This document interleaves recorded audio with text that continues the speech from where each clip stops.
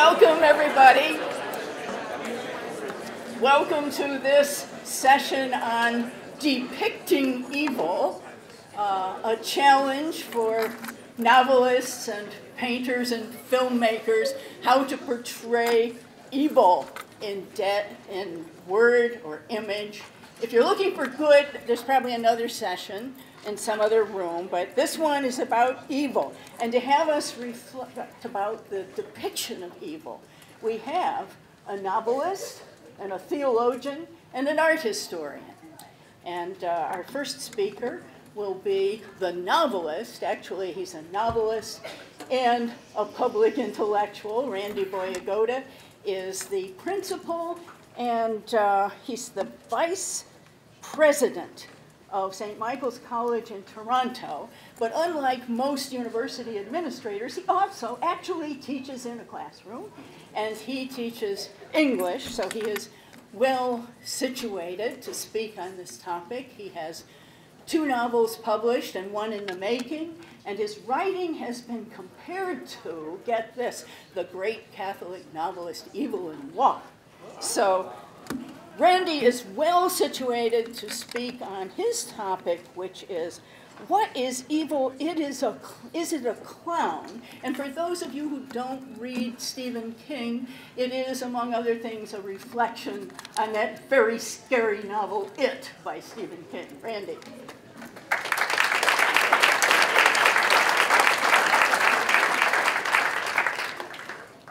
Thank you very much, Mary Ann, for that, that very warm introduction.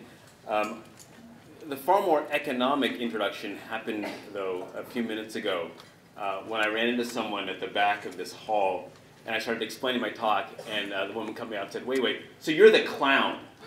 And, and then there was a pause, and she went, I mean, you're talking about the clown, and that's, and that's, uh, that's right.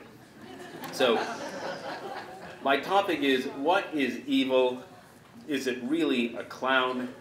Uh, before I begin, I, I do want to say first how grateful I am to be here uh, back at Notre Dame for this, uh, for this fantastic conference, not least because of just how, how engaged and engaging the material is, but also because it means that I am currently not driving four little girls to 17 different ballet lessons, which is what my Saturday in Toronto is usually spent doing. A little bit of Catholic guilt because my wife's doing all of it in the meantime, but we'll get over that. Okay, so what is evil? Is it really a clown? In my remarks this afternoon, I will be bringing together a I will be breaking the microphone. There we go. One sec. There we go. In my remarks this afternoon, I will be bringing together a series of classic and abiding sources for thinking about the nature of evil and how it's represented in literature and the arts, including Augustine, Aquinas, and Dante. That said, I would like to begin by drawing on two classic sources and bringing them together like so many have done before. And that's Joseph Ratzinger and Stephen King.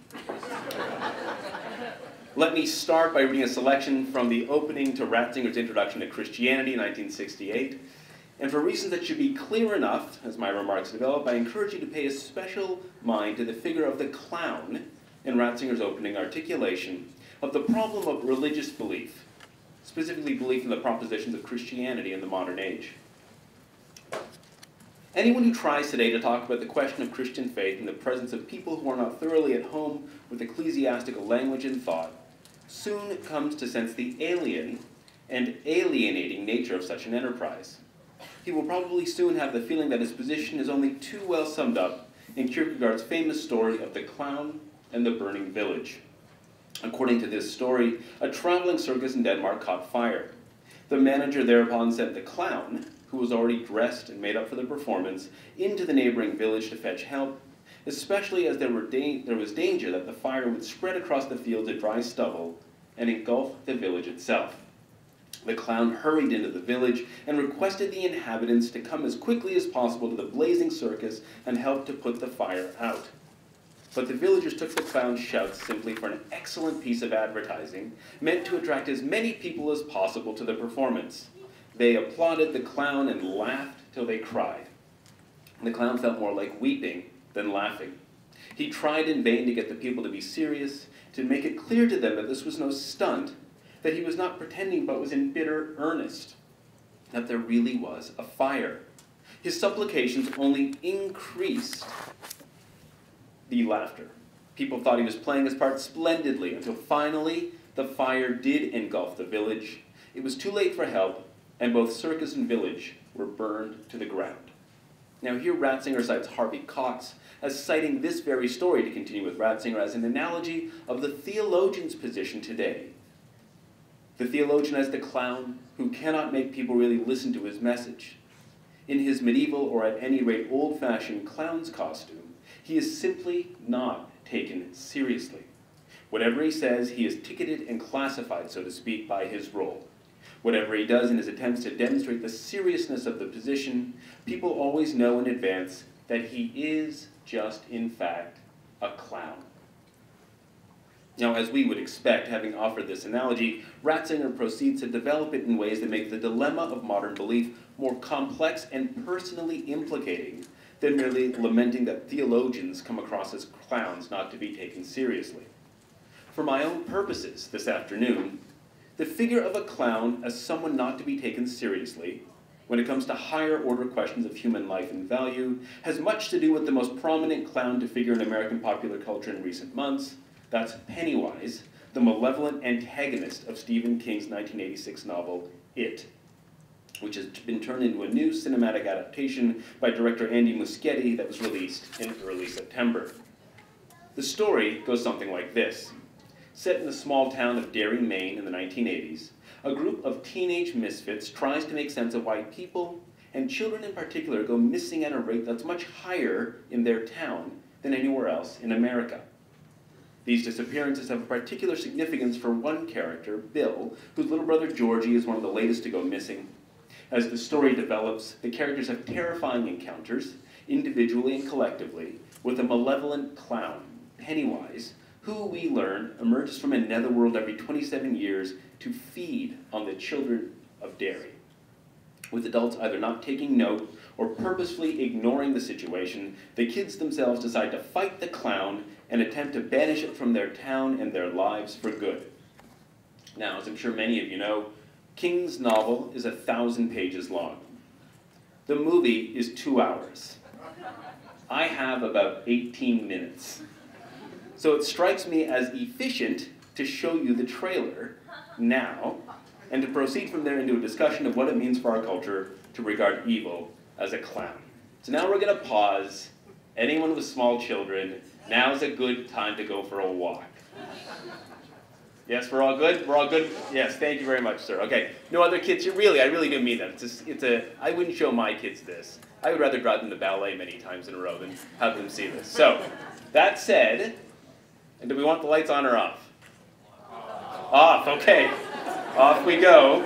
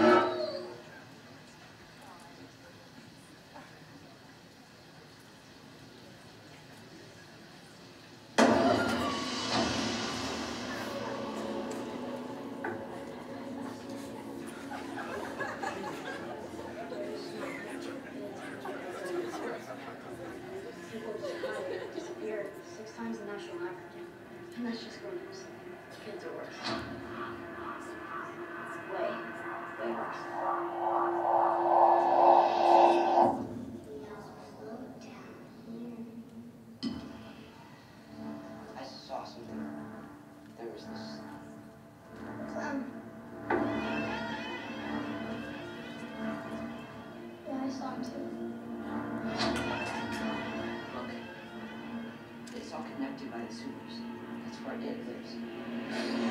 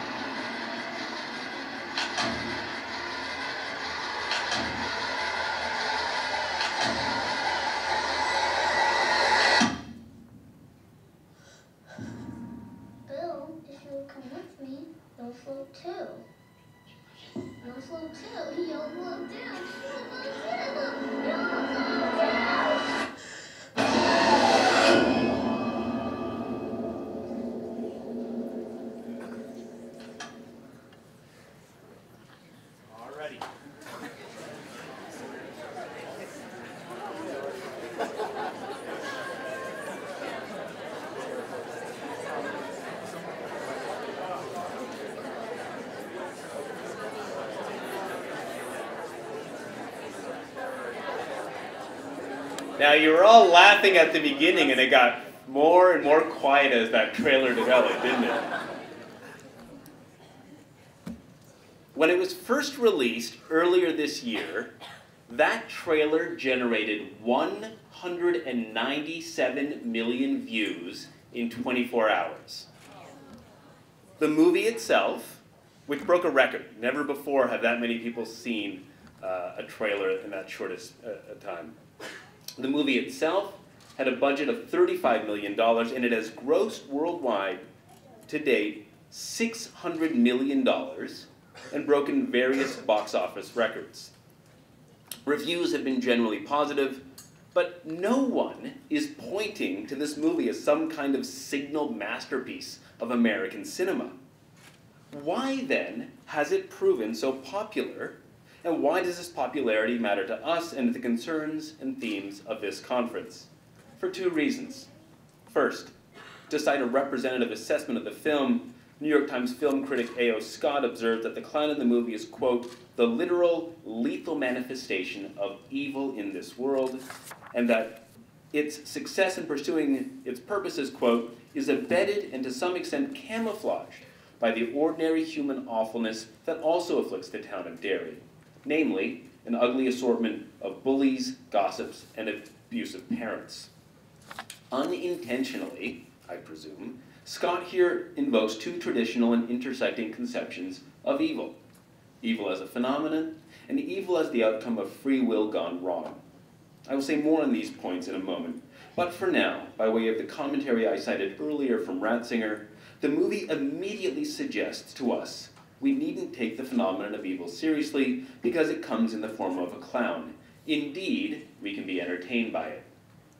And we have been, as the box office receipts suggest, and with one particular de- demographic in mind, which brings me to the second reason why I think this movie merits some attention.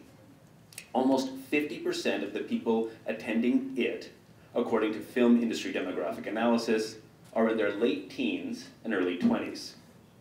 Now, by way of transition, let's shift from Ratzinger's introduction to Christianity to Christian Smith's cogent and now damn near canonical account of millennial religious belief, what he terms moralistic therapeutic deism.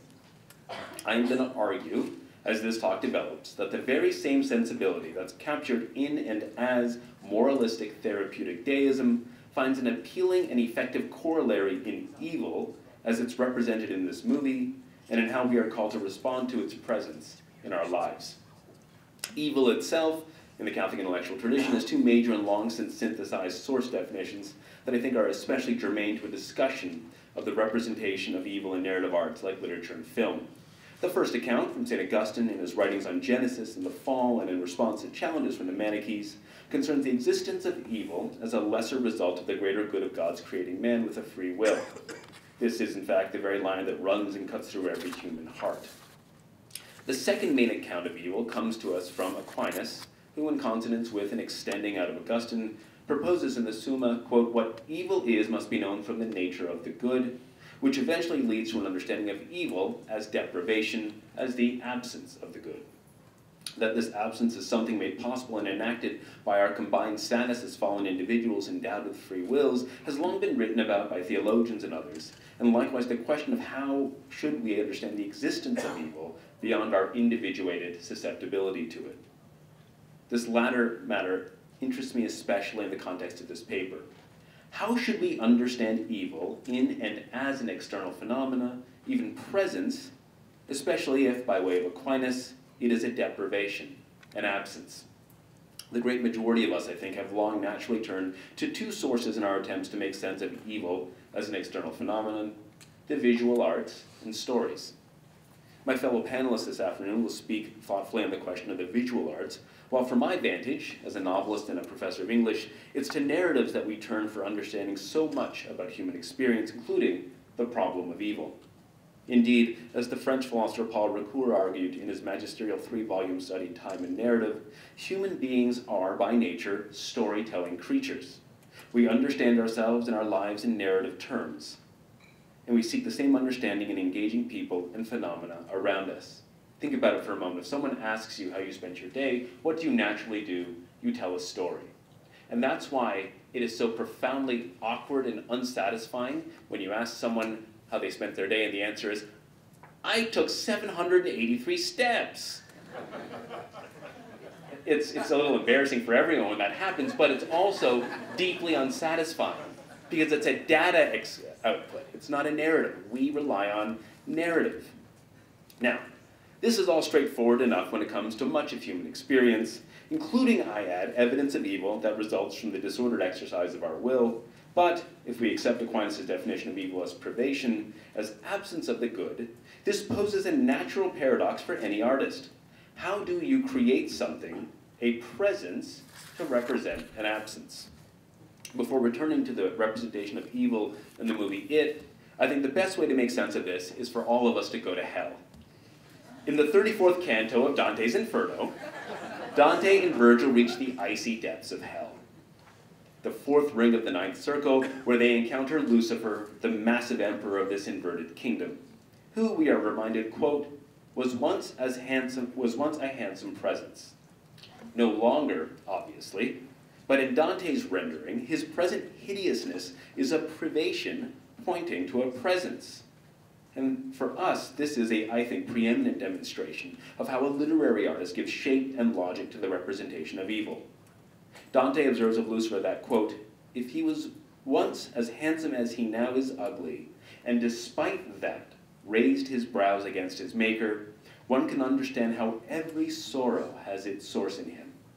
Thereafter, Dante offers us a striking view of this ugliness. He has three faces, one in front blood red, and then another two that just above the midpoint of each shoulder join the first. Each of Satan's faces is winged. His six eyes weep tears and blood, and he is encased in ice and eternally eating and flaying and crushing three traitors, Judas, Brutus, and Cassius. Virgil informs Dante that as their last hike through hell, they must climb Satan's icy, shaggy flanks because, quote, it is by such stairs that we must take our leave of so much evil. Eventually, the poet and his guide emerge, quote, to see once more the stars, and from there make their way to purgatory and eventually to paradise. I think we'd be hard pressed to find a literary representation better than Dante of evil as both acts of disordered will, resulting in damnation, and as an exterior phenomenon whose depravity affirms supreme goodness and presence, not least because this representation corresponds so fully to clarity, proportion, and integrity, the three defining features of a work of art that Etienne Gilson, Umberto Eco, and other modern scholars and thinkers have written about, have been also taken this from Aquinas. When it comes to Inferno, the poem's clarity is evident in how it unfolds a story that radiates an intelligibility about the consequences of leading a life governed by a disordered free will. The poem's proportion is evident in its integration of metaphysical and physical logics, particularly with respect to the kinds of physical punishments sinners endure in proportion to and in reflection of their offenses against the will of God. Finally, the poem's integrity is evident in its wholeness of imagined world, inferno, purgatory, paradise, and the many syntheses and integrations and harmonies that endow the poem with such force and meaning, as, with its rendering and revelation of, quote, so much evil, as Virgil puts it, we move through the nine circles of hell, culminating in Dante and Virgil's encounter with Lucifer. So now, from Augustine, Aquinas, and Dante, are we really going to move to Stephen King in the movies? Yes, and here's why. Especially when it comes to the relationship between faith and art. Whether seeking depictions and evocations of the good, true, and beautiful, or of evil, religiously serious people today tend to only look in one direction the past. Now, I do not say that only out of autobiographical frustration. As a working Catholic novelist, I have in other format, forums, forums referred to what I've called my Flannery O'Connor problem and yours. It's the great challenge when you're a Catholic writer. You're at a dinner party, you're at a conference, you're anywhere with anyone else, and right when they hear that you're Catholic and you're a novelist, in my head I go, three, two, one. Do you like Flannery O'Connor?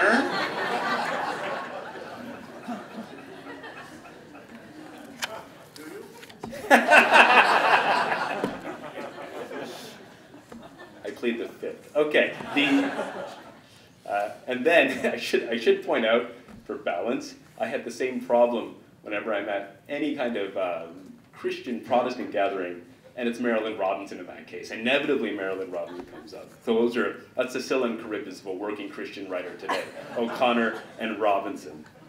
But look, really, beyond my own autobiographical frustration with that, if we are called to read the signs of the times and engage the culture, that means more than merely lamenting that people don't read enough C.S. Lewis and G.K. Chesterton. In the present example, this means making sense of why a pretty good movie featuring an evil clown has enjoyed so much commercial success. It doesn't hold up very well against Aquinas against clarity, proportion, and integrity, as we shall see, precisely because it's finally governed by an understanding of evil itself and of our response to it that amounts to moral therapeutic deism's evil twin. Pennywise preys on children by identifying and then exploiting their fears. As such, each of the main characters in the story at multiple points is terrified by the clown's workings.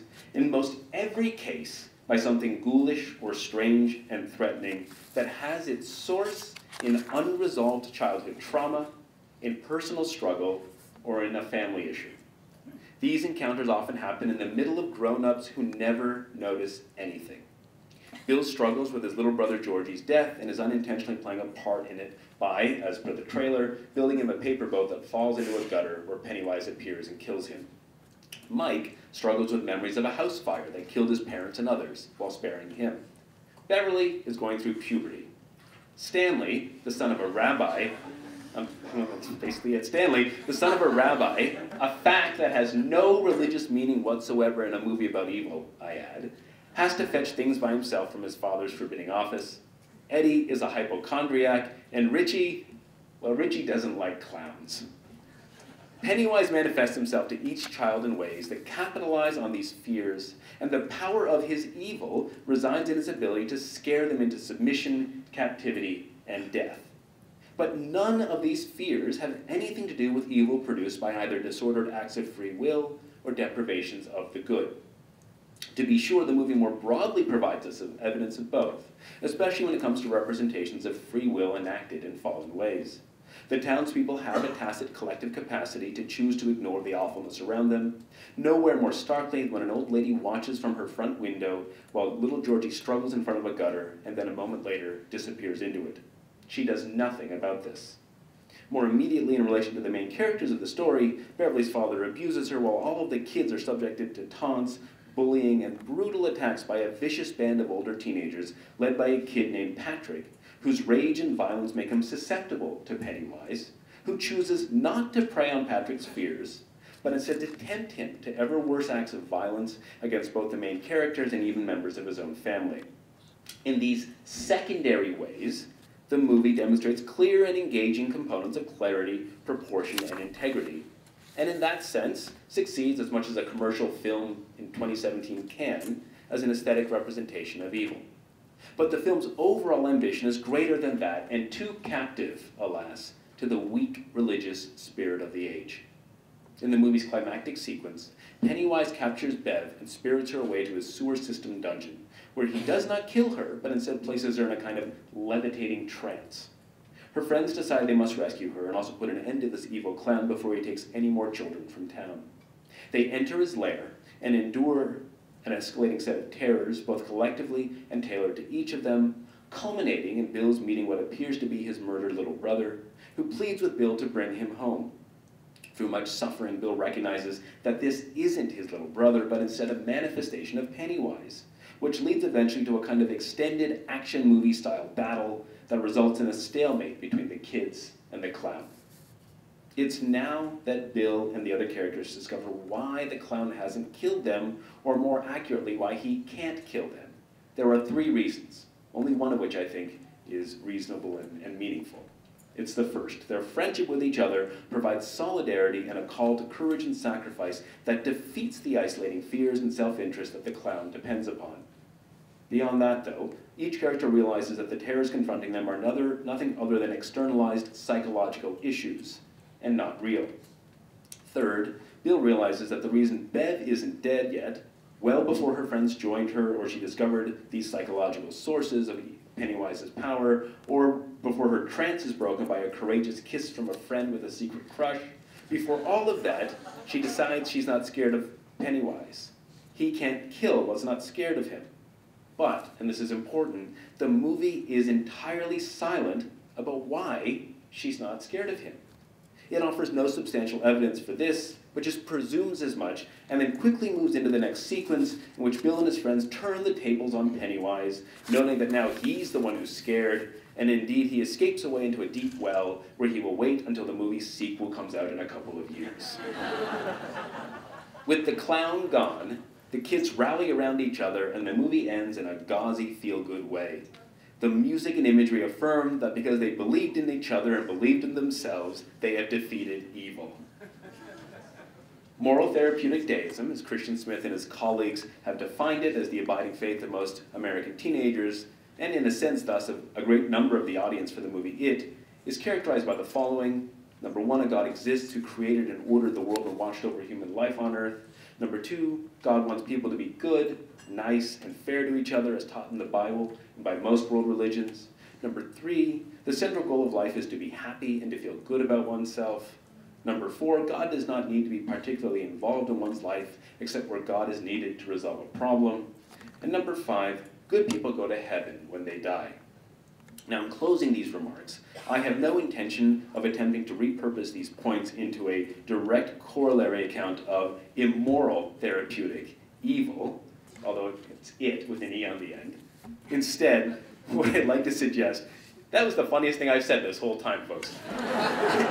Instead, what I'd like to suggest is that the great appeal of a movie like It resides in its offering a representation of evil that is as easy and mushy as moral therapeutic deism's representation of the good, the horror of it aside. Evil exists, and it shows up in weird ways that grown ups can't understand. Evil takes root in our lives because of psychological issues beyond our control. And only in coming to terms with these issues and through teamwork can we combat evil. The problem with such a representation of evil is that for both your average American teenager and for those formed and committed to a higher order understanding of the human person and of our place in the divine plan and to making sense of how evil exerts pressure on our efforts to participate in that plan, it's hard to take evil as a clown seriously. And that's exactly why the movie is so successful by making evil into a clown that occupies a natural spot in the moral therapeutic deism's cosmology and logic, it's entertaining to encounter a perfectly late American cultural paradox best enjoyed with other kinds of tasty deprivation, like a large Coke and jumbo popcorn. Thank you, and go Irish.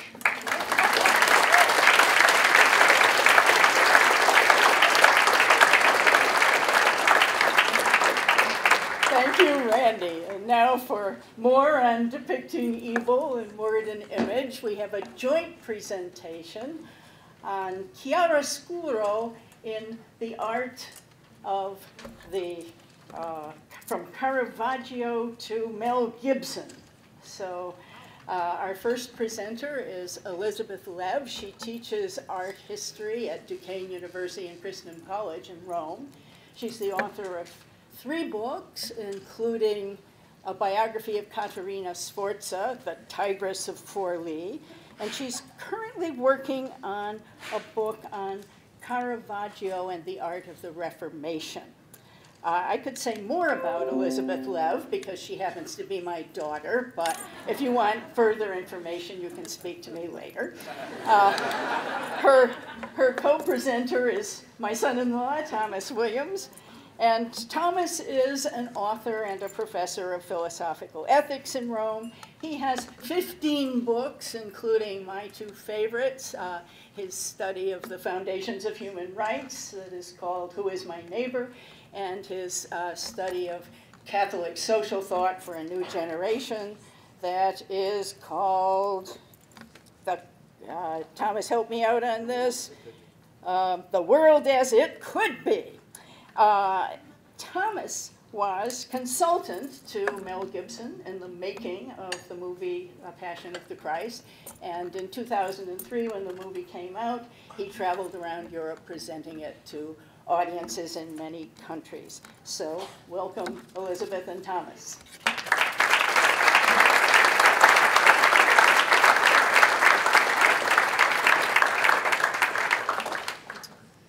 Thank you so much. And thank you very much to the Center for Ethics and Culture, of which we are very proud to be permanent research fellows and very honored to be. Uh, and thank you for the Sorin Fellows and all those whose work have helped put together such a splendid conference. Um, I have to apologize right at the start. It's never good to disobey one's mother-in-law.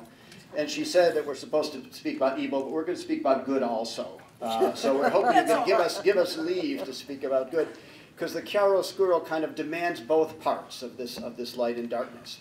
And really, when, when art comes in contact with these great human but invisible realities, such as good and evil, which are moral, psychological, metaphysical realities, how do the visual arts, how can they uh, make them visible? How can they manifest them, reveal them? And we've gotten a very, very fascinating historical and, and actual contemporary look from Randy about how that can be done in the case of evil. But artists have been struggling this with this for since the beginning of art. And uh, one of the ways that they do this is by appealing to different natural symbols that can make this dichotomy apparent in a visible way. So that is, we're going to be looking at that today in a very particular way through the eyes of these two artists. So I didn't know that marriage meant I had to share a microphone too. we'll see. We'll see how this works out. no. So um, the problem is trying to make something that is invisible uh, visible. So, but at the same time, the importance of sight, the primacy of the sense of sight becomes a very important question. It pulls art into the mix of trying to depict and represent for people uh, good and evil. And Christian art actually started uh, in a very, very nice way. They started out by depicting the good. So we have the good shepherd, right? Isn't that one of our very first images? What are we presenting in the world? Filled with evil as always, we put forward the good shepherd, who, by the way, you'll notice this one is the good goat herd. I always find that a very comforting image from the catacombs of Priscilla, the little goat that's kind of, you know, hoping to get caught up with the sheep, too. So we already are looking for an idea of that's the best we can do for representing evil in the third century AD. But as we move into the Middle Ages, we begin to choose another vision of goodness. It's always trying to show goodness. Goodness is light. Goodness is this, this, this quiet in the heavens. So that would be the Christians start out with this sort of emphasis on the representation of good, and then as we start to engage with the question of representing evil, it usually tends to be something that is pulled out of nature, kind of a strange mixing of figures, uh, kind of odd. Here you have, for example, one of my all-time favorites, the Virgin Mary saving a naughty child from a little demon that looks like Swamp Thing with a beard. And they're sort of putting together all the put all the bad things you could possibly find, throwing them into one. That one, on the other hand, um, on the, the it's a section of Masolino's crucifixion. Um, you'll see the little detail of the deformed mass being taken out of the mouth of the bad thief. That would be his soul. So you represent these representations of evil are something that's either formless, shapeless, this horrible little blob coming out. The good thief has an angel cuddling a sweet little baby. And uh, either that or some sort of conglomeration of a number of, of, of strange things. Now, this changed with the Renaissance where humanism began a whole new nuanced way of trying to show good and evil. And they tried to they tried to use aesthetics um, uh, uh, they tried to figure out rules in art to be able to show something that's that show good and evil in a way that's more acting and visible in nature. So these categories, there are, there are actually five or six categories that the Renaissance defines. We're going to be using three for time's sake. But remembering a little something that was brought to my attention during one of the uh, presentations this morning, I am referring to an era when art had rules. So uh, 15th, 16th, 17th century, art actually has to follow a certain amount of rules. Obviously, that's out the window in the modern age. But what is interesting that cinema does have to follow those rules. There are certain rules. The media actually does force you to follow certain rules. So these rules actually will apply to both of these artists. So we have these three different, we have three different uh, uh, uh ways visually of representing uh, good and evil. Chiaroscuro, we have to remember, has to do with contingency. Two things are contiguity. You need to have dark and light, you need to have good and evil, you need to have two that set each other off. It's not just about good or evil, but good next to evil, good defined, set up against evil. And it's shown in many different ways, this idea of good and evil in art. We've chosen three that are particularly helpful, I think. Order and disorder. What was Aquinas' famous definition of beauty, splendor, ordinis? The, the splendor of beauty, right? sorry, the, the splendor of order is the splendor of, of a harmonic view of things that comes across as appealing, as visually attractive because of the order represents. Whereas disorder, chaos, mayhem, these things that cause anxiety, this is the opposite, right? And that also is a way of depicting evil. Where there is chaos, where there is this anxiety, there is not peace, there is not beauty and goodness. The second, oh, sorry. Well, there's one just from, a, from art, from the Renaissance art point of view. Um, in, in art, that means instead of using kind of a mad jumble of interlocking characters, you need to be able to apply a certain amount of order, uh, uh, composition, clarity, as you heard in the previous presentation, so that in the words of Giorgio Vasari, our 16th century art theorist, there is no confusion in the reading of the painting. The second category of that of form and deformity uh, remember, the, the, Latin term for, for beauty, one of the terms, uh, is that of what is formosus. Formosus, we know that some of you study Spanish, hermoso comes from formosus. It is the word for beautiful. And deformis is a word for ugly. What is deformed is considered ugly. And the way of something being whole and complete, having integrity, is a sign of its goodness, whereas deformity is a corruption of that good. And it's important to remember here something that Randy brought up in the prior presentation, that evil has always been understood in the Christian tradition as being a privation, as being an absence. Evil is a parasite. It does not subsist on its own. There is nothing that is 100% total evil, even the devil himself. We talked about Lucifer being corrupted. Evil is always a corruption, a deformity of something that is good. And that's very important when it comes to depicting it the, uh, that, that made a very important step for Renaissance art onward because now, to, in order to depict things, it requires a discernment on the part of the artist. The artist's job, in the words of a 17th century theorist who is uh, Giovanni Battista Bellori, is to draw from all of nature but not to take the deformities, to draw from all of nature to make the most perfect and the most good. So art finds a way of translating this into, into images. And the third category, that of light and darkness, which is the most typical, purest of, of chiaroscuro, is particularly compelling. Um, I remember when I was very small, probably third grade, uh, I had an art class, and they told us something that was very counterintuitive. They said that white, the color white, is all colors put together. And I said, when I take my crayons and I cover over, it does not turn white. And black is not a color at all, it's the absence of all color. It is nothing. And it's counterintuitive because when we start a work of art, if you start with your crayon, you start on, what do you say, a blank sheet of paper. White seems to be the beginning, the absence of, and you add to it. But in reality, we know this also through physics, light is the composition. That's why a prism will break light up into its component parts, which are all colors. And this is true in the moral life and the metaphysical life as well, that the completion of all things, the integrity of all things, the good, is this idea of white or of light. And the absence of light, the hiding in the shadows, always has been, since even before Christianity, an idea that conveys darkness and badness. So the early Christian church confronted that question of light. It was one of the most effective visual, visuals that the Christians could use right away. For example, think of the difference between an early Christian church building with the clerestories flooded with light as opposed to the darkness of the internal cellas of the pagan temples or, or, or even yet the uh, Uh, uh, uh, the Mithraic cult cells. Um, the whole idea of light has always been an important part of art, but the Renaissance, again, honed in on the concept of chiaroscuro, which on a very technical level, chiaroscuro is simply the principle of making a three-dimensional image on a two-dimensional surface.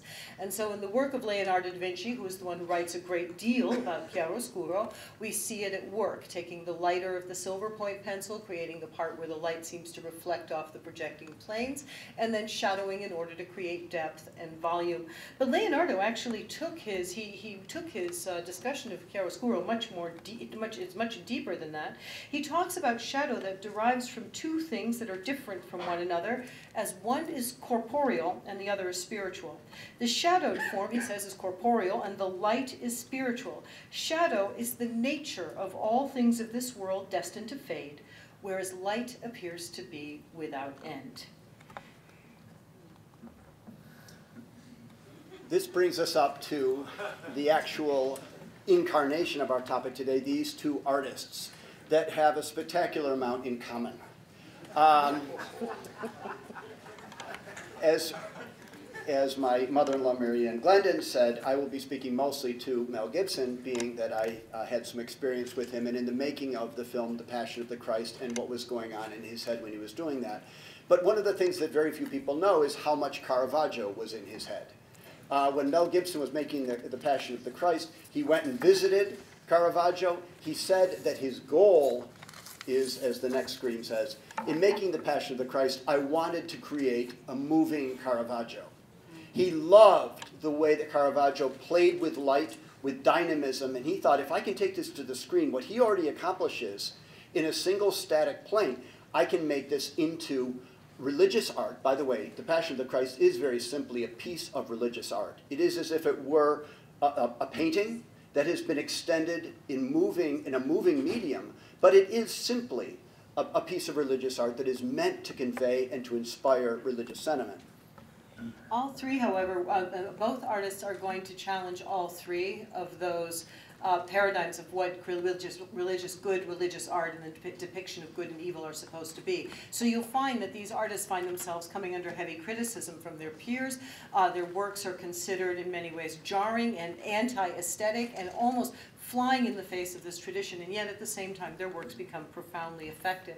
So we'll start with uh, Caravaggio, I think that would probably be uh, chronologically the best one, as we talk about order and disorder. Now, Caravaggio, I think anybody who has read 20 Seconds of Caravaggio's biography knows that he has problems with order in every single way, shape, or form, which in a certain sense is why he became so dear to me.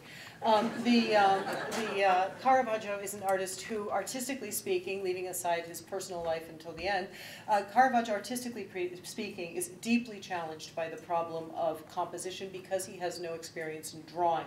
Leonardo, Michelangelo, Raphael, the Florentine school, you cut your teeth learning how to draw and learning how to compose your figures in space in such a way that you create order.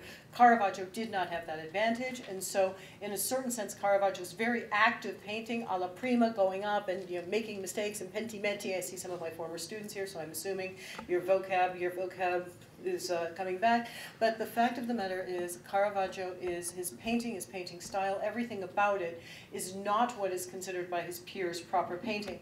In this particularly beautiful painting, the uh, Taking of the Christ from 1606, which is now in the National Gallery in Dublin after a long and very exciting story, um, it is a it is a painting where he's doing uh, he's uh, he's confronting the, the the question with a certain amount of chaos. I mean, he starts out with a painting that looks very chaotic, and the interesting thing is in the true Caravaggio fashion, he uses very few figures. Caravaggio does not like mob scenes because he's not good at them. In the usual way that you would show the um, the arrest of Christ, for this is Giotto, you have a million different figures, but even with the huge group of figures, the clarity, the organization of the composition is absolutely obvious. You've got a group here, a group here, center piece. There's no sense of like chaos and tumble and fighting going on, unlike in the Caravaggio painting where you have the, can we back up for a second? You have the, whoops, you have the glints of metal, the movement rushing in, that, that figure of John running off in the distance. The figures are close, close, close to you. You feel a little bit like you're a little bit too close for comfort to the story, as everything you can barely figure out where you would be standing or how you would avoid being hit by one of those blows. So Caravaggio starts out by giving you a feel, an image of chaos, an image of uh, uh, disorder in this image of the taking of Christ. This is something that's picked up by Mel Gibson. You'll see throughout this particular film, which we're going to focus on, the way that he brings in disorder to show chaos and to show evil. And he does it by associating also with the personification of evil, this figure of the devil that he brings in from the very, very first scene in this agony. You know that the word, uh, the Greek agonia is not the way we think of it today as very intense suffering or pain. Agonia meant combat, a combat or contest. It was, it was battle. And spiritual combat is what is taking place in the entire two hours and 20 minutes of this film. That is what is happening from the get go. And it's done, you see that wherever the devil goes, the devil spreads. I was going to say he, but in this movie it's played by a female actress, spreads this chaos. So watch this scene of the taking of the Christ.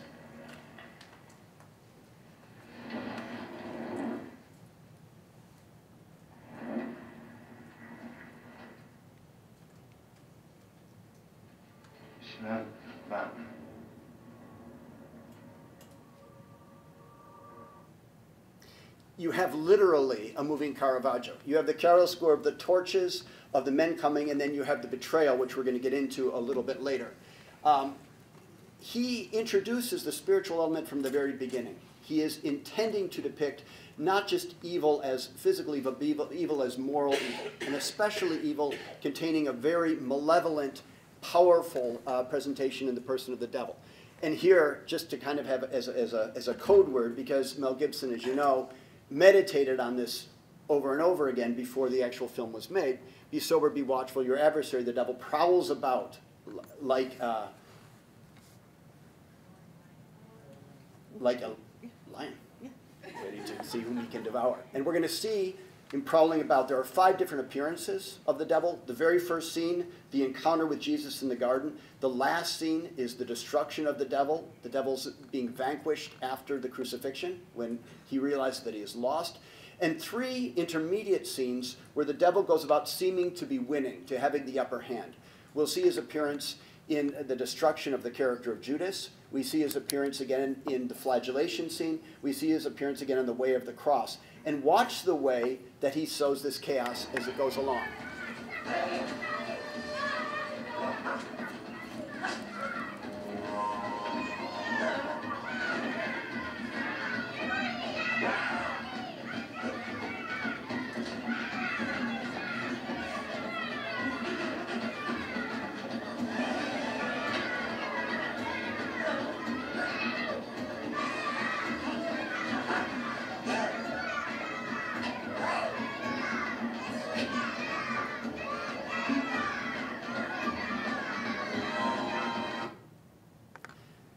Those little children, as you recall in the movie, it's very difficult to, to know in this moment whether they're his imagination, whether they are in fact little demons, or whether they are in fact children. He plays with this ambiguity. But the fact is that he paints the devil among them as instigating them, and this chaos is what eventually uh, drives the person of Judas to kill himself. This is after he's betrayed Jesus. Um, look at this scene here. You can almost not see her or him, the, the figure of the devil behind this Roman soldier and the chief priest there during the flagellation scene. The presence of the devil who's walking behind, and you see that they get more and more heated in their passion and in their sadism in treating Christ. You see these characters who become almost inebriated and filled with glee over drawing blood and more and more blood from, from Jesus. This is the expression that you get, this, this actual joy in, in this sadism that they're enacting. On the other hand, this contrast between order and disorder we see by continually going back to the persons of Mary and the Magdalene. And Jesus himself, who heroically, not stoically, but heroically resists and stands up to this torture. But the person of Mary who insists on watching this scene, despite how difficult it is for us to watch it, it really is the model of this Christian heroism and order of goodness. We have the chaos then along the way of the cross, and again we'll find this depicted by the devil inciting it. This is a counterposition between Mary and the devil on either side of the way of the cross.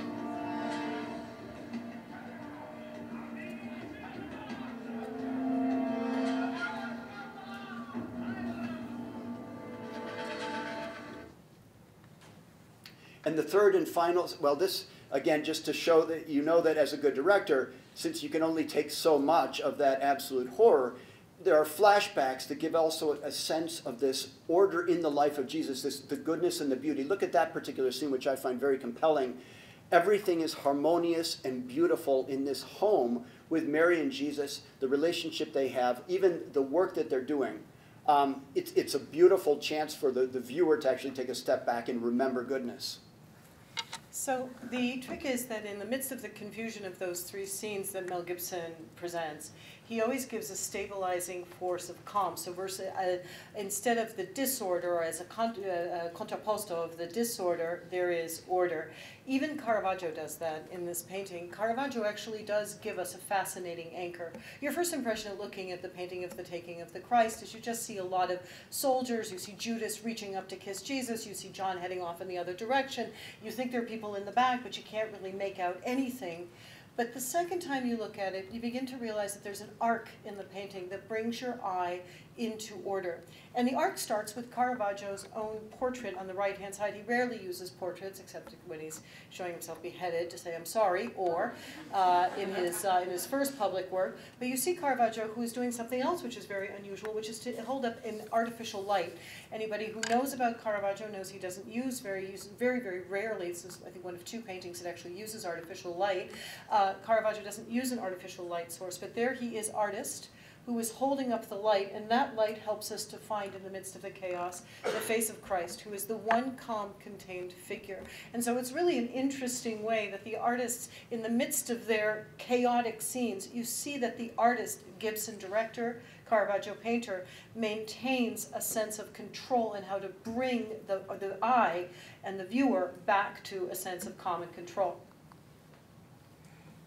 So, form and deformity. So, uh, when it comes to uh, form and deformity, uh, Valori, Gian Giovanni Battista Bellori, who was the theorist of the 17th century, wrote about art during the time of Caravaggio, saying beauty is none other than that which makes things as they are in their proper and perfect nature.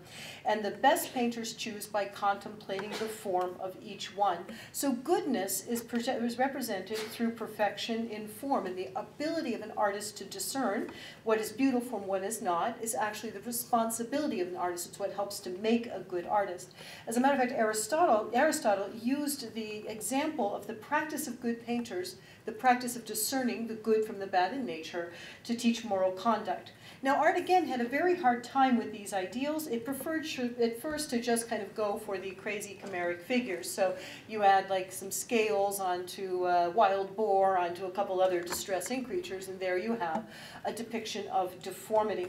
But for Caravaggio, it's a little bit more. It's a little bit more mm, more of a challenge because while this makes it very clear, you see the the bestial nature of a person who has given himself over to evil. Caravaggio does not do things that are not in nature. Getting to getting him to paint an angel basically required putting a gun to his head, and so uh, Caravaggio will actually tend to prefer to take the human face, which is, of course, perhaps at its best when it's more composed, and distort it through very, very violently expressed emotion. So, in the case of, for example, the, the, the execution of Saint, uh, the, the murder of Saint Matthew, he'll take the face of that of that killer. Which, if you look at if you look at most of the painting uh, in that era, when you have the murderer, the person who's doing an evil action, he usually has a sort of indifferent face. They all look like they come from like central casting with sort of the perfect jawline and the hair, and they never like bat an eye when they're you know killing people en masse. But Caravaggio's face is different This man, this guy, this is a street fight. His face is red, his mouth is, his, his mouth is open. You can see the, the, the intensity of the face, that, that, that changing of the features as that pure visceral hatred is expressed in his face. In the case of, um, in the, case of the next painting, which is uh, the flagellation of Christ, take a look at the face of the man on the left which is contorted into this sickening grin of a man who's enjoying the torture that he's about to inflict on, on, on Christ. And so Caravaggio's way is to take nature and instead of beautifying it, he holds up a much more powerful mirror. What we look like when we're arguing, what we look like when we're rejoicing in other people's and other people's pain or suffering. And so this really, it, it turns out that uh, it becomes very, it's very challenged by his contemporaries. Caravaggio produced a painting of Judith beheading Holofernes um, in the same era that uh, Guido Reni uh, produced his uh, produced his uh, Mike, St. Michael killing uh, Michael the Archangel killing Satan, and it's um, an interesting contrast because they're very similar. They're both forces of good and evil. They're both figures right up close. They both portray the moment of victory. So this is these are two paintings that make a kind of natural comparison. They come out of the same era, um, actually. They uh, but they are both reviewed by the same critic. And uh, Bellori, does, he criticizes Caravaggio's work because he, quote, copied the defects of the body and inured himself to the ugliness and faults. He used to say about Caravaggio, if you took away his model, his art went with it. But Guido Reni, on the other hand, praised because he had found this angel of earth, unearthly qualities. He said he couldn't find a face like that. He couldn't fly up to heaven to see what angels really look like, so he contented himself with the ideal of the most beautiful. But when it came to painting Satan, the idea of ugliness set forth to, he, when, he, when he had to come up with the idea of ugliness, he set it forth in the devil and he left it there. For I flee him, he says, even in thought, and try not to keep him even in my mind. And so the devil is painted with these very, very hasty brushstrokes, as if he can't wait to get it done and look away. Whereas when whereas the figure of, of, of uh, Michael the Archangel is much more, uh, much more carefully constructed. As a matter of fact, look at the ease with which the Archangel defeats Satan. Light blue, he wears blue, the cool color. This isn't an angel that's motivated by passion. This is an angel that shows how easy it is for the Archangels to defeat Satan. And now look at Judith. Judith, to begin with, part of the problem was uh, that uh, she was actually recognizable. She was a courtesan in the city of Rome, so people got a little upset about that. Um, but the fact is, look at that face. That's not an indifferent face. That's a furrowed brow for a woman who is doing something very distasteful, but she's doing it. And you look at that face, you look again at that other face, the distorted face of Holofernes, who really thought the evening was going to go a little differently. and then what gets more deformed? And what is a greater sense of deformation than a man whose head is partially removed? So he gives you this sort of gritty, horrible rendering, and he puts good and evil side by side. They are a traditional image of virtue and vice, Judith and Holofernes. She's not here and he's here. They're here. They are locked in battle. She's winning, that's good. But it shows the battle as something that what it really is, a battle. Mel Gibson does the exact same thing. You probably remember the very disconcerting uh, scene when Judas has first realized what he's done. He is filled with shame, he's filled with remorse, and these little children come up to tease him, the ones we saw earlier on with him, uh, with the devil in their midst. But he first shows them by showing a transformation in their faces. Watch what happens with this little boy. Mel Gibson plays with the face. In fact, his casting director told me, she said, all he really cares about are faces. All he really wants are really interesting and, in, in some cases, deformed faces. He wants to convey things through these close-ups, through faces. Here's the second boy. He actually needed a different actor to play that second one. The first one was just made up. This one actually was, was a different one to show this, this change that, that freaks Judas out so much when he encounters it. Look at the character that he chose for Barabbas, the one who we chose as humanity in place of Christ. Again, the evil is shown through this deformity, through something that is, that is repugnant to us as a corruption of the good. And finally, Look at this mockery of the Madonna and child.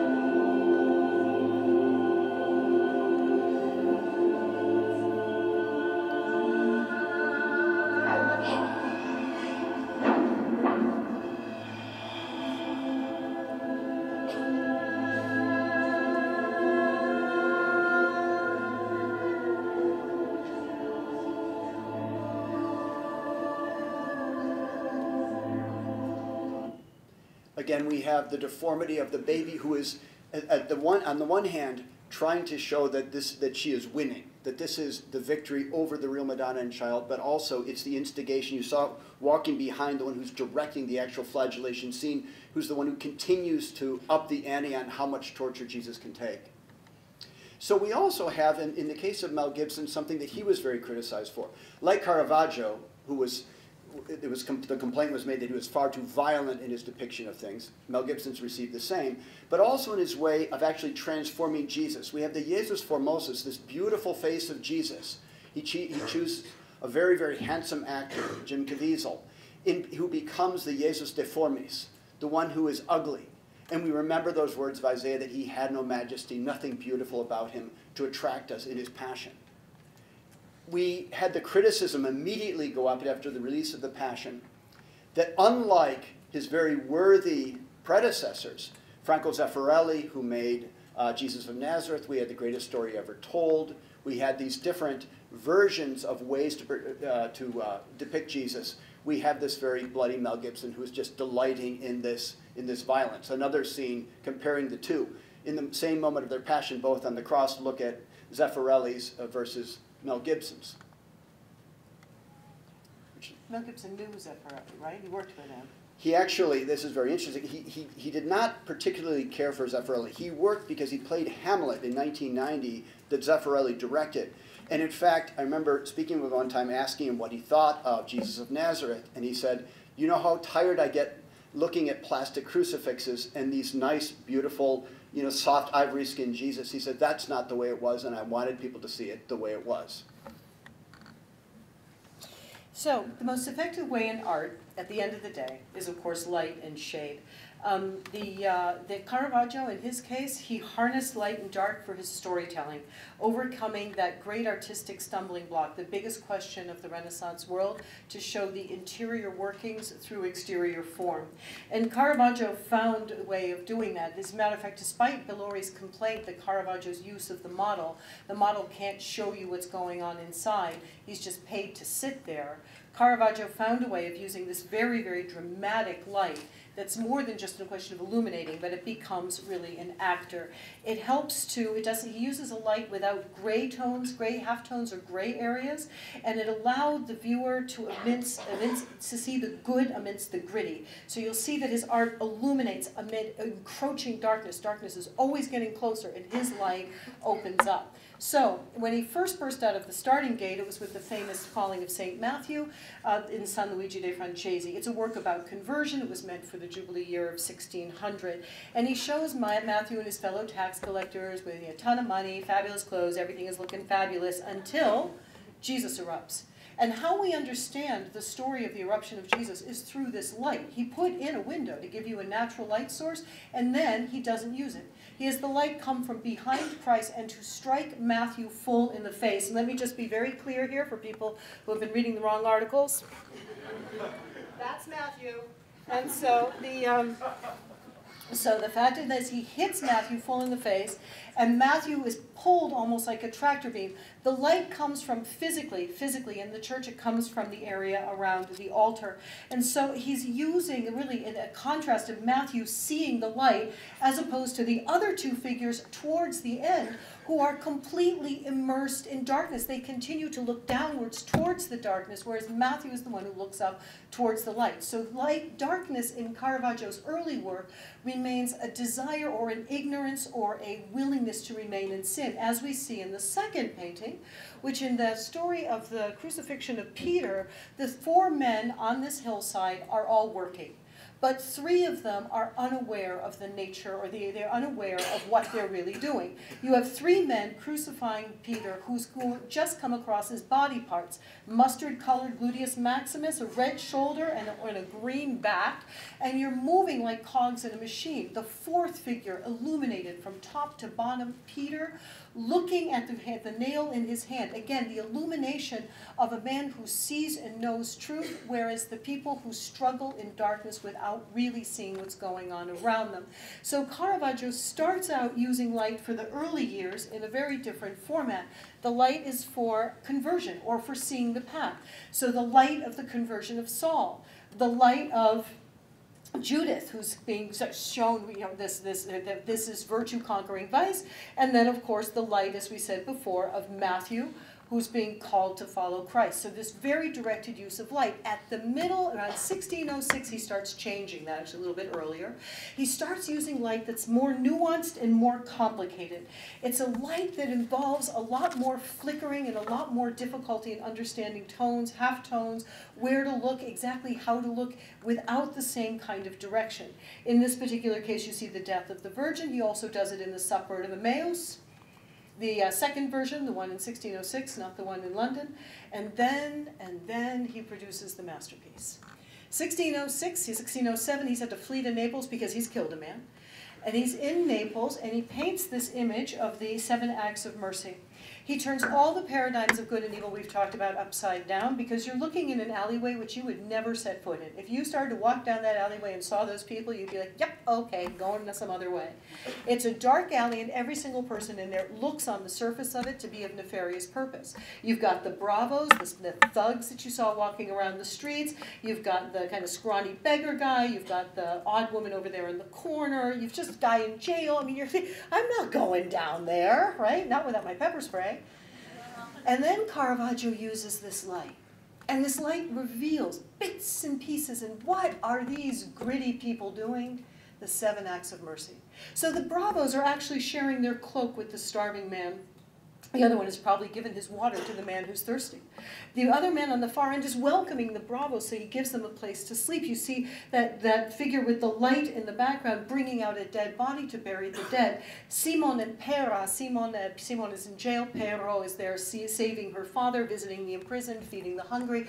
This amazing, totally unexpected, not the kind of imagery you would expect to tell stories of good. But Caravaggio's light goes and begins to find good among the real, among the natural, among what looks like the gritty, grimy world around us. And herein lies the power of his chiaroscuro. In the case of, Mel Gibson, his use of the, of the light and the shadow, which fascinated him so much, he did it from a very theological beginning. He was really into the Gospel of St. John and especially John's theology of light and darkness. So and so he would talk about it out loud. He would say to Jim Caviezel, he would remind him of these passages that Jesus is the light, that you have to be the light. Everything about you has to emanate this. That he's in the world, he's rejected, but the light, the darkness cannot overwhelm it. And also this fact, something that he knows from personal experience, that the real battle going on is not between human beings. And that's why his insistence on painting the supernatural uh, origins of evil around us and temptation because he really believes these words of St. Paul that our real struggle is not against the powers of this world, but against principalities and powers of the other. Look at the light and darkness in this first scene in the, in the Garden of Gethsemane.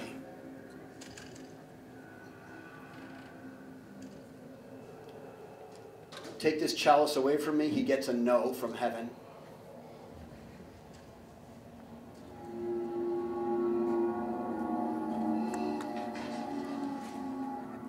And the devil thinks to press his advantage.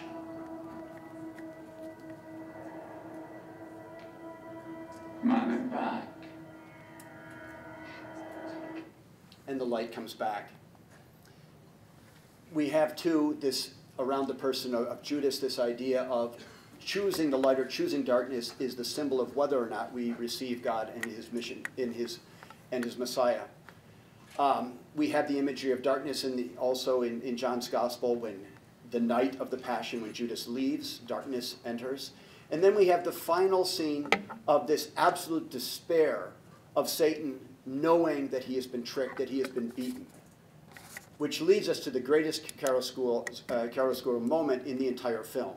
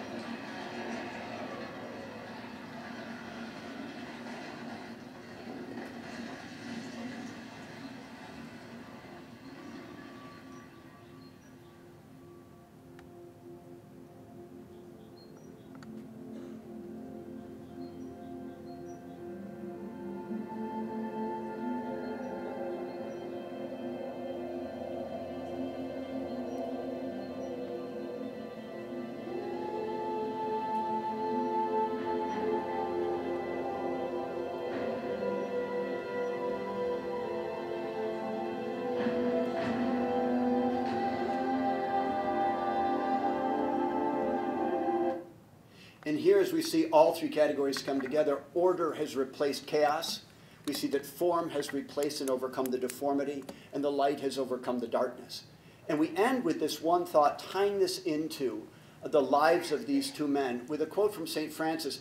Part of the reason we thought this was a particularly helpful uh, idea for this conference was the sense that. Pope Francis. Did I, what did I say? St. Francis? Not yet. Uh, Pope Francis.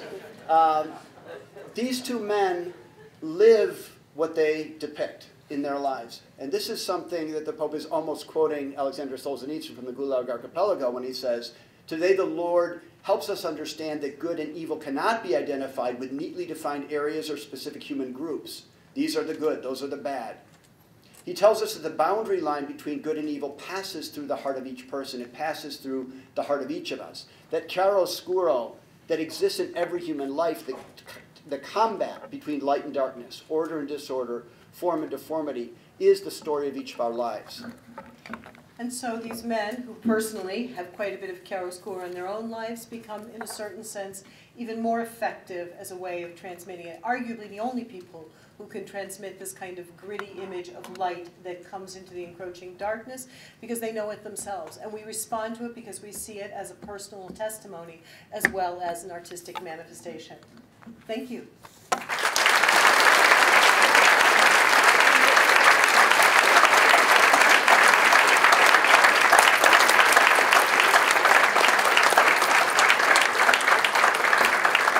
Thank you, Thomas and Elizabeth, and we do have time for a few questions. I would ask you to, um, to raise your hand, and when you pose your question, please state your name, and, po- and since we don't have microphones today, state your question in a clear, loud voice.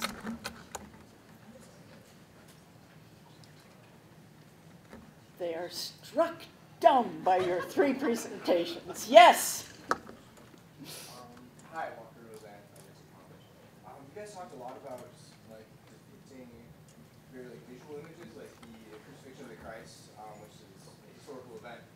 And if we look at St. John the Baptist, who I'm sure you guys are familiar with as artists, he talks a lot about how we are to kind of depict like images that have no form, like God in the Old Testament says, like, do not make images of me because like I'm formless, like I cannot understand. So, like, don't make anything worship. Um, how would you guys respond to that? Like, how do you guys think you guys to like depict like formless things such as like God or like the Holy Spirit that we don't really see like crucifixion? Just, just, Is it- you just and that, that goes way back to the iconoclasm, uh, whole debate. Um, The, the question of whether or not it is an offense against God to depict natural beings and in some way engraven images. Uh, It goes back, and that battle even reemerges during the Protestant Reformation with certain groups, but it's something that was soundly rejected by the Catholic Church in the sense that we have always believed that this depiction of images, which we saw at the very beginning from the catacombs on, I mean, Jesus himself is the image of the Father. Jesus himself is God made visible and present. You can look upon him. That's the inspiration of all Christian art, that God the artist actually gives us the image of himself in human form. I mean, that's, how much more do we need than that? Yes? Uh, hi. Um, concerning it um, and uh, the presence of culture, um, I recall about I think it was a year ago um, this uprising in various, uh, shall we say, hooligans walking around in clown costumes and intentionally trying to spread fear and chaos um, and just general maliciousness. Do you see these two things as related or these just coincidental? I think maybe the only connection I would make is just that for some reason, um, a clown is a meaningful figure in our culture. Partly in the context of a clown being theoretically gentle, fun, etc. But there's always this sense that there's something kind of potentially malevolent about about a clown. So it's kind of the classic kids are scared of clowns sort of thing. And I think King, if these kids were doing it, if, if nothing else, they were probably in- inspired in part uh, by the, the, the kind of the prevalence of Stephen King's It in our, in our broader culture going back many years, and then a larger sense of clowns as just these kind of weird figures. terms of uh, the depiction of the deformed, I've noticed, at least in, in, uh, the depiction of the deformed in, in uh, violence is more and more graphic to the point where, you had TV when I was a kid, the gunshot,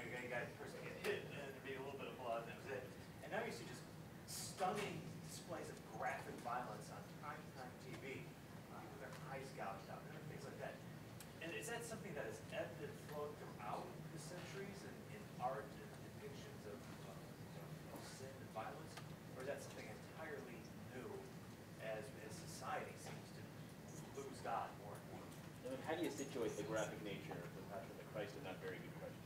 It is, it is the, in- at least in, in the history of art, um, the, uh, Caravaggio really challenged all, the questions about graphic nature of depictions of violence, by the way. So the modern things that we see on television, for those of you who don't, here in the back maybe.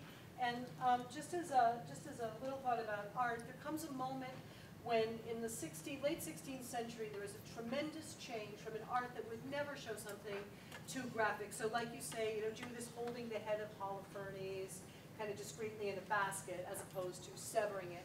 But starting with the images of martyrdom, like the ones in Santo Stefano Rotondo, where we see incredibly graphic images of what other people do to Christians, it starts out with an understanding of the evil that there is in the world. Caravaggio and later on Artemisia Gentileschi are both artists challenge that state of, I want to see something decorous, but at the same time, their use of graphic violence is really a reflection, it's used to reflect the true nature of the battle with evil, which I've been hearing in a lot of presentations, and I keep getting those images in my head of how in the 16th century, when they really feel you have to understand you're doing battle with evil, they make images that show you it's really hard, sweaty, messy, messy work.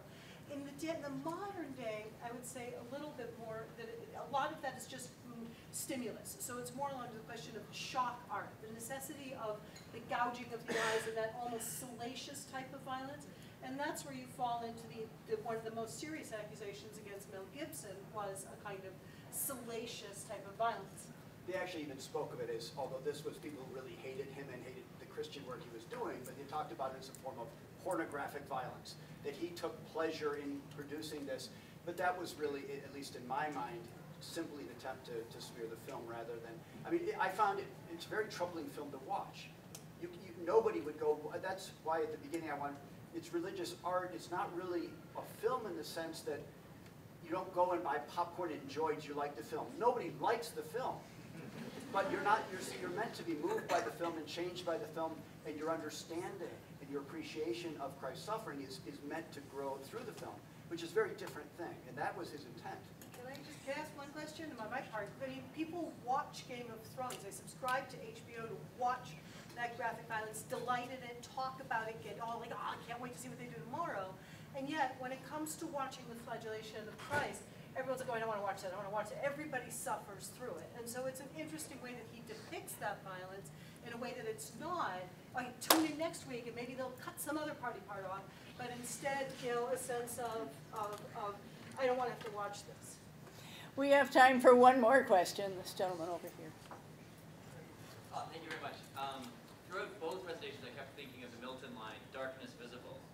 And I just want to ask both of you, or all three of you, um, what's the formal difference in the resources that the written word has versus visual art? Because it seems that writers have a great disadvantage here. They cannot use light and darkness directly. So how, how do those of us who love writing compensate? I think writers have a built-in natural amazing advantage, to be honest. And it's because we've got the imagination to play with, right? And so it is the strength, actually, I think, of the written word that allows us to spend, find me, um, show me a million different depictions of Dante's Inferno, and I will take the poem over every single one of them every single time. I think, frankly, I almost feel bad for the visual artists and the painters because they don't have the. well, you don't. I mean, I get all of this. They just get screens. So I think I think I'm okay with the with that. I just have to say, how many people say wait for the movie? Well, Liz, Liz said something, alluded to something at the very beginning where Aquinas talks about the five senses and he says that the, the sense of sight is that which is closest to the intellect because it's the closest to understanding, which is why when you get something, you say, oh, I see. I see. What do you mean you see? I see. I now see it. I didn't see it before.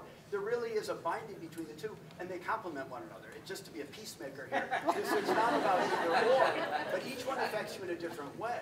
It affects you, but anyway, that's I think. Can I add one more thing on the, I, I, it's true, it's true, it's a knee-jerk reaction to defend Caravaggio, but every single treatise on painting is always about how the closer painting comes to poetry, the better it is.